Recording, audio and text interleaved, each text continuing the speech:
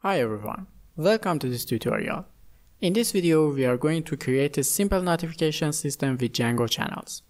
If you are new here, my name is Ali Kompany. I'm a full stack Django and Vue developer. And here we are going to talk about programming and sometimes UI UX as well. If you like this kind of stuff, make sure to subscribe. Okay, let's jump to the code. The first step is to set up our project. In order to save time, I'm using my starter Django and Docker project, which I built based on best practices in the previous video. If you haven't watched it, I put its link down in the description. After that, let's create .env file and activate our virtual environment. Now we need to install Django channels. After that, let's head to the settings.py file and add channels to installed apps. Then we need to edit the asgi.py file in the config folder.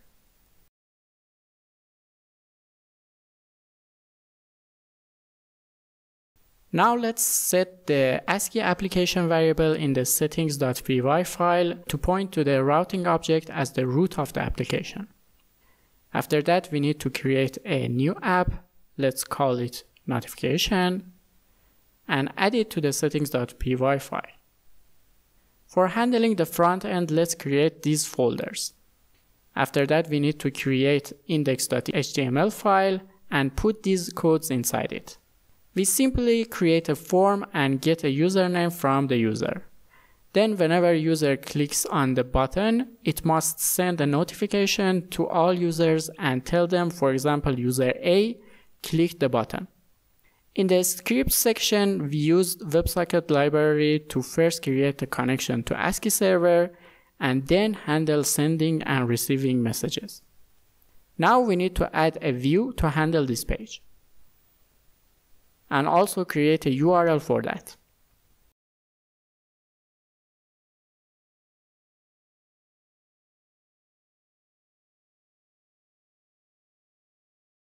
In order to handle channels, we need Redis. Since we use Docker, let's add a Redis service in our Docker Compose file. After that, let's install channels Redis package and add its configuration inside settings.py file. Okay, now let's handle WebSocket. In simple HTTP protocol, first web server caches the requests and passes them to Django. After that, Django, based on the URL, invokes the appropriate view. Similar to views, in order to handle WebSocket connections with channels, we have to create consumers. So let's create a file called consumers.py inside the notification directory. First, we import these dependencies. Inside our consumers class, we need to define four asynchronous methods. First one is connect. Inside it, we call the group add method and join to a group called notification. The next method is disconnect. As the name implies, this method calls whenever a socket connection terminates. Inside it, we call group discard and leave the notification group. After that, we need to create receive method in order to handle receiving messages from WebSocket. We first extract the message. After that, I create a dictionary called event. Event has a special type key corresponding to the name of the method that should be invoked on consumers that receive the event. Then we call the group send method and pass the group name and event dictionary to it. And finally, let's create send message method which we used inside the event dictionary. Inside it, we send the message to WebSocket.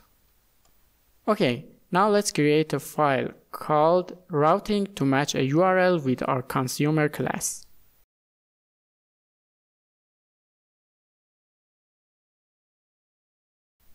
The next step is to point the root routing configuration at the notification routing module.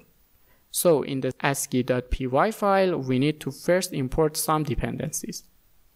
Then insert a WebSocket key in the protocol type router list in the following format.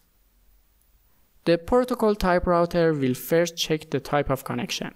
If it is a WebSocket connection, then the connection will be given to the auth middleware stack. And after that, the URL router will examine the HTTP path of the connection to route it to a particular consumer. So, in less than 5 minutes, we created a notification functionality with Django channels.